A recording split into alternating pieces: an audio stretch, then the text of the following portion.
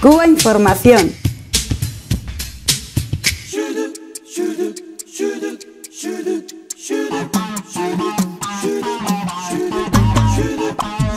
Eh, vamos a hablar, como no, de Venezuela. Estamos pendientes de lo que está pasando allí. La verdad que nos interesa mucho este tema. Estamos preocupados por la situación venezolana.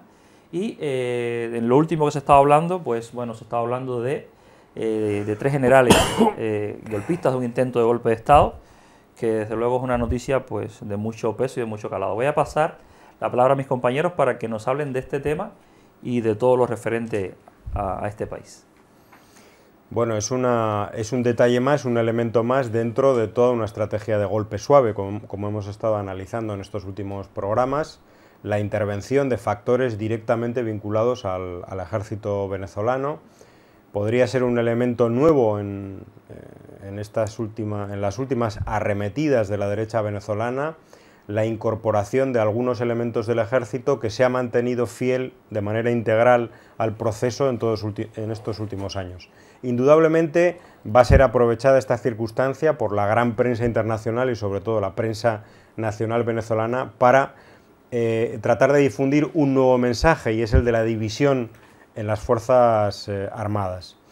Eh, hay que recordar que en el golpe de Estado militar y mediático también del año 2002 eh, hubo directamente elementos militares implicados y en los últimos meses y en los últimos años, pudiéramos decir, no ha habido estos movimientos tan destacados. Lo cierto es que ha sido interceptado bueno, pues, mm, una operación, tres altos mandos, tres generales de aviación del ejército venezolano estarían implicados con factores de la oposición política para un golpe de timón y para un para digamos levantar en contra del gobierno a, las fuerza, a la fuerza aérea. Mm, han caído estos militares, han caído varios alcaldes eh, de la oposición que han estado sencillamente eh, colaborando directamente con la violencia urbana. El alcalde, por ejemplo, de San Cristóbal de, en Táchira, que pudiéramos decir que ha sido uno de los elementos fundamentales en toda, en toda esta estrategia de violencia, ha sido detenido y ha sido condenado a un año de prisión por desobedecer, por desacato al Tribunal Supremo de Justicia, que había ordenado directamente a las alcaldías opositoras parar las, eh, las, guarimbas. Es decir, que la policía local de esos eh, municipios y no la Guardia Nacional Bolivariana interviniera contra los violentos.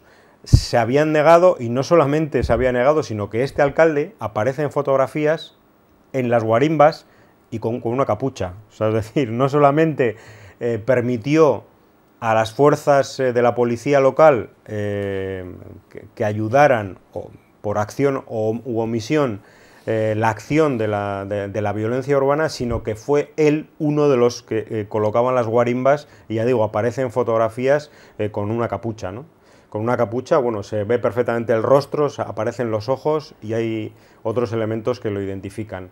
Y mencionar también que María Corina Machado, la, digamos la segunda carta de la baraja de esta oposición violenta, ha perdido su acta de diputada, ya no es diputada en la Asamblea Nacional eh, por traición a la patria, se le ha retirado y por lo tanto va a, ser, va a poder ser juzgada sin inmunidad parlamentaria. Ella ahora mismo está a punto de regresar al país, dice que va a regresar después del fracaso en la OEA, el gobierno de Panamá le cedió la silla para que hablara contra el gobierno de Venezuela y la OEA eh, finalmente lo negó. Y bueno, veremos porque les van cayendo los peones fundamentales. Esta oposición, que es una oposición fascista, que no respeta absolutamente nada y que se le llena la boca de, las palabras de libertad y democracia cuando sencillamente no quieren aceptar lo que es una realidad, la, la voluntad democrática del pueblo venezolano en las urnas que ha refrendado una tras otra hasta 18 veces consecutivas a las fuerzas bolivarianas. Buenas noches, Lázaro. Muy buenas noches a todas las amigas y amigos de Cuba que están en la sintonía con nosotros.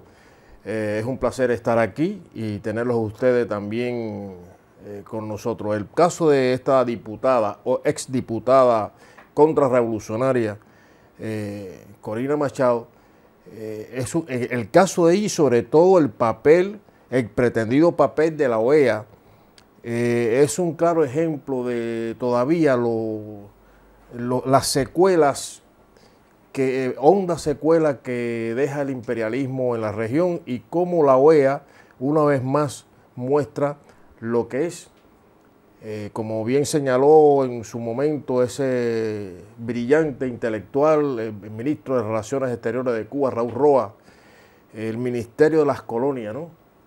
Era la OEA, porque no se entiende, no se entiende que se pretenda darle una silla eh, a, esta, a esta diputada, incluso en representación de otro país que no es el suyo, como es Panamá.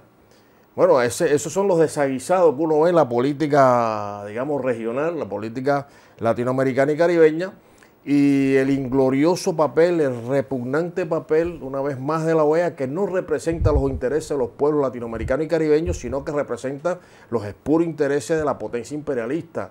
Eh, incluso, bueno, la sede de la OEA está en, la capital del imperio, ¿no? Y entonces mm, vemos que todo es un entramado bien orquestado, bien diseñado, eh, y el laboratorio está entramado, está en Washington, que eso, vamos, yo creo que nadie debe tener duda de ello, pero eh, vemos eh, realmente con preocupación, y esa preocupación se traduce en todos nosotros en solidaridad para el, el pueblo bolivariano, el pueblo patriota venezolano, ese pueblo hermano, valiente, aguerrido, eh, bueno, eh, es una etapa, una etapa de un proceso revolucionario, genuinamente popular, bolivariano, con eh, las dificultades y las complejidades que, tiene un país donde hay una oligarquía, una derecha con poder económico, unida como cordón, con, como un cordón umbilical a las tesis y a las estrategias e intereses de Estados Unidos. Entonces, y hay otros factores externos que están alentando lo que es evidente, ese golpe suave, eh, como bien lo señaló el presidente Nicolás Maduro, un golpe continuado, un golpe suave continuado que busca derrotar el proceso revolucionario que tiene lugar en esa hermana nación. Eh, hay que desenmascarar realmente no solo a los actores internos, sino los externos y también a la prensa, estos grandes eh, oligopolios mediáticos que están brindando una, eh, una cobertura. Primero lanzan la guerra mediática y después la cobertura a las acciones desestabilizadoras de, esa derecha neofascista que, ha causado ya, sus acciones ha causado ya la cifra de 35 muertos, para no hablar de, los heridos, de los daños materiales, daños económicos eh, en esa hermana nación. Pero hay eh, una, evidencia también y es la fuerza del pueblo venezolano, del pueblo bolivariano. Eh, no han podido, ellos apostaban porque ya era el momento ideal para, según las tesis manejadas, por la oposición derechista para derrotar el proceso bolivariano. No lo han conseguido, al contrario, lo que se ve es un claro descrédito político de toda esa fauna derechista siempre eh, pegada, genuflexa y pegada a los intereses de Estados Unidos. Eh, aquí hay un caso, sí, con, eh, grave, donde digamos que es la, la guinda ya todo esto, ¿no?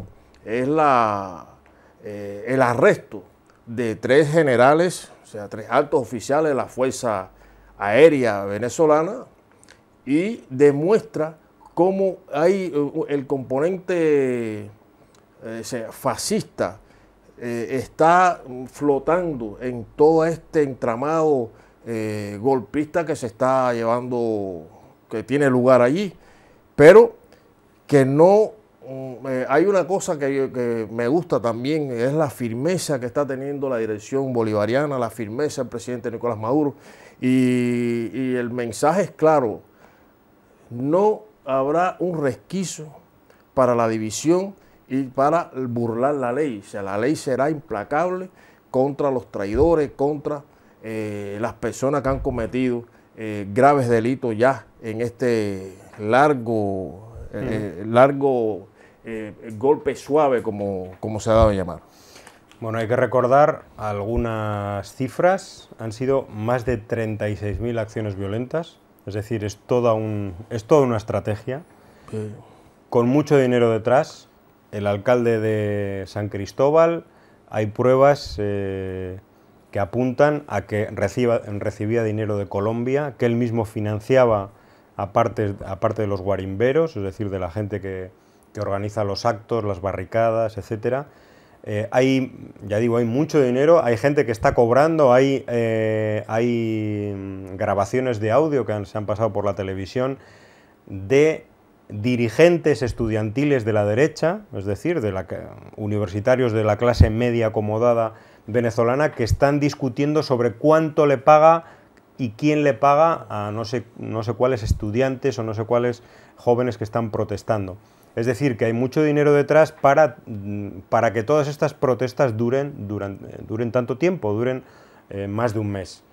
Estamos hablando de que ha sido, por ejemplo, envenenado un embalse eh, que ofrecía agua, agua corriente, agua potable a la población en Mérida es decir, a, 160.000 habitantes. Ha sido envenenado con gasoil.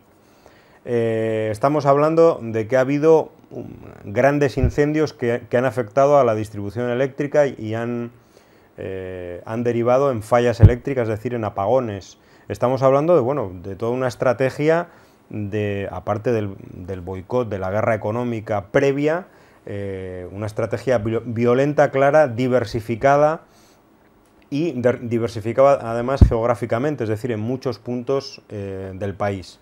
Y por otro lado existen unos medios de comunicación venezolanos que por un lado eh, censuran todas estas acciones violentas y por otro lado culpabilizan sistemáticamente de los muertos al, al gobierno y a lo que ellos llaman los colectivos, que increíblemente algunos medios de comunicación dicen que están dirigidos por cubanos por Cuba. En el Nuevo Herald decían que los paramilitares chavistas son coordinados por, eh, por la seguridad cubana. Es decir, realmente ya es un galimatías, eh, un tema eh, de, fantasía periodística tal que realmente no, sabe uno dónde va a acabar. ¿no?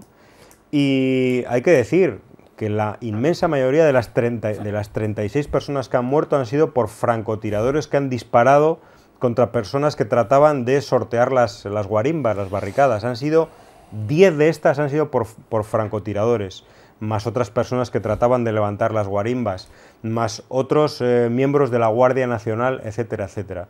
Y solamente se podrían atribuir a la fuerza pública cinco de estas víctimas. Es decir, curiosamente luego en el mundo existe toda una gran campaña internacional sobre la supuesta represión del, gobierno venezolano. Sí, es curioso que eh, los periódicos eh, de las grandes potencias, empezando por Estados Unidos, eh, seguido por los, sus lacayos occidentales, de la Europa occidental, la Europa rica, hablan de, de, la violencia la represión cuando los mayores represores son ellos, los mayores violadores de derechos humanos son ellos.